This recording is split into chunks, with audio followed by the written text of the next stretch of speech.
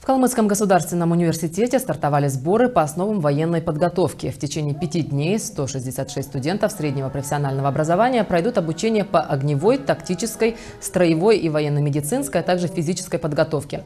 Помимо этого, ребята изучат воинский устав и узнают об основах радиационной, химической и биологической защиты. В конце обучения организаторы определят лучших участников основных пяти направлений. Военные ли сборы, учебные ли сборы, э, сборы для подготовки, в том числе и демонстрация сегодня навыков к э, военному делу. Это очень важно. Это очень важно с точки зрения воспитания.